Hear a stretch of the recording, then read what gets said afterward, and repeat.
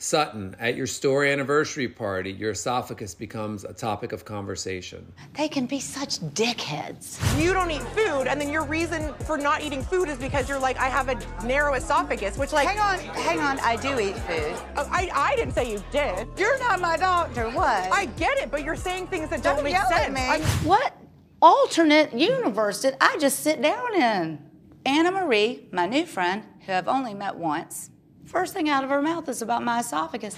narrow esophagus. That's that's a symptom of something. That's not a medical diagnosis. Maybe the first thing out of your mouth should have been, "Congratulations, I love your store. I've never been here before." No, no, Would've been no. nice. Nurse doctor went straight in for the esophagus. If you have like a stricture in your esophagus, all you do is chew your food more. If you really have a problem, you go get treatment for that. As a medical professional, my concern is that it sounds like Sutton says she has a narrow esophagus because she doesn't want to eat. Little girls, young girls, women, watch people with disordered eating. Watch this. You're a role model for some people. Like, let's take that a little bit more seriously. I don't eat certain things. How about that? Am I at a doctor's appointment? Every time this comes up, I start laughing. No, no, but why are we talking about someone's esophagus? Well, what happened was when Sutton was talking about her esophagus and the narrowing of her esophagus. I mean, she I'm did, like- for the record, say to me, you know, I have a narrowing of the esophagus. And I said, okay, cool. Like, whatever. I didn't know that a couple of years later it was going to be. Do you want like me a- to chew like food and spit it in your mouth like Right, a little I didn't know she was gonna have a. We were gonna have a full-on thing about it until we met a healthcare professional. None of the other ladies have healthcare backgrounds, so it's probably they probably never thought twice about it. But then I find it so weird that like they pick and choose what they want to question. And I'm like, why? If something doesn't make sense, question it. You have neuropathy? Yes. So you probably take gabapentin. Yes. So I just overheard you say something about like you can have gabapentin Yes. and drink. Question at all. My favorite answer was when Sutton goes, "Well, it works for me," It works And then for me. and I thought, "Oh my god, You see, that's that's funny. it's fing brilliant. it's fing funny."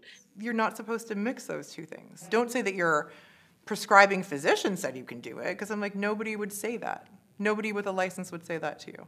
Did I check all the boxes on the form at my doctor's office? Yes, I did. Put your clipboard down.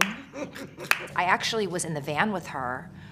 I think it was in Aspen, and she started choking. You guys were behind us, and I was in the car with Garcelle and Sutton. We were not filming, we were just really like behind the scenes. And they brought us all um, like sandwiches and stuff like that so we can eat. And we pulled over because Sutton was eating, and she kept spit like chewing and spitting her food out because she kept choking. So I had seen her really struggle with her esophagus. Remember in Rome it came up. Her esophagus, well, because she choked a couple times. Well, she was chewing her food up and spitting Right, it out. Yes, because and we were like, "What's wrong with you?" And then she could not. We're like, what's wrong with you? But anyway, she's Right. just chewing her food up and spitting it out. Well, I Next, didn't, want- I didn't want to make a big deal out of it. Like, who knows? let's let Anna Marie in a couple of years do that. Right. but she got right down to it, you know. Anna Marie solved the case of Sutton's narrowing esophagus. I think she was mad because I didn't have pineapple ah! juice because I don't know. I, she mixes tequila with pineapple juice or Oh, I didn't know that. something. So I'm sorry we didn't have pineapple juice as a mixer. I will remember that for next time. So that you don't come at me and my esophagus Right. and my feet. Does that suit you, Anna Marie? And I'm the only one that's pronouncing your name right at this point, Anna Marie. So you should be thanking me. It's true. Everybody was like, Anne Marie. I'm like, it's Anna Marie. Coming from my esophagus and my feet. All right, so we're moving on to a more serious topic. Your therapy session with Jamie, where you open up about Lorene. Then May 1st, my best friend my whole life. I can't even say the word. She took her she took her life on May 1st. It's been um a year and a half now. In the Kleenex. Thanks. Thanks. Sure. That could happen to her. Yeah. If that could happen to Lorene, it could happen to anybody. Yes. Yes. I knew her inside and out better than anyone. Lorene was my other half. We always said we were separated at birth. Definitely the most important person in my life outside of my family. who knows more about me than anybody else. know what happened because she was so together. I mean, literally in my will, she was in charge of my children, my money, everything. That she was so together, and then I don't know. I don't know what happened. I don't have an answer, and it's so frustrated. I just, you know, I have to do what makes me happy and take care of myself. Yes, you, You know, and, and and not worry about disappointing people or yes. I don't want to waste time worrying about the things that are not important anymore. I don't want to be told what to do, or I just want I want to surround myself with people that love me and want the best for me, and that I feel better. You know, when I'm with them.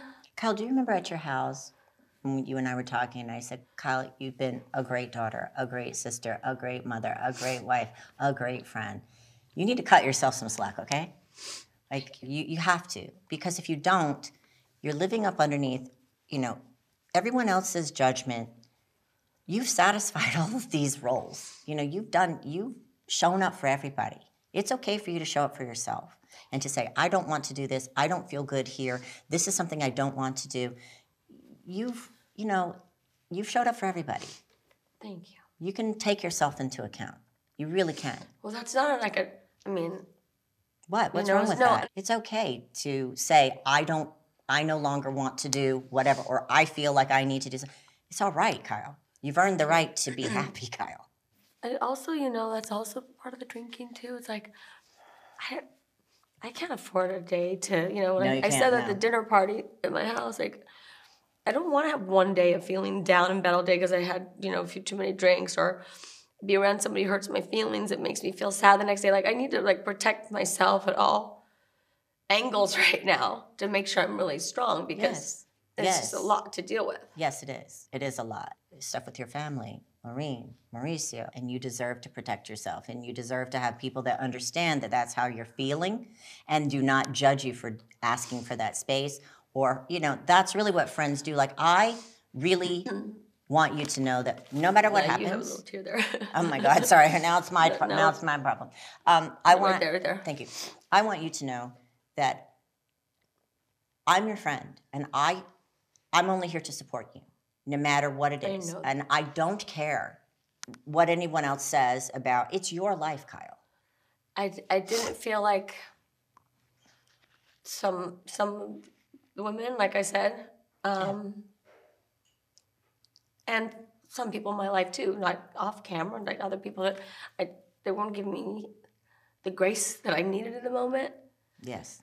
you know. Yeah, you're trying to figure it And out. I really that really stood out to me who did and who didn't. Yeah. Well, I don't know. I, I I'm here to support you. You always are, and I appreciate that. Of course. Of course.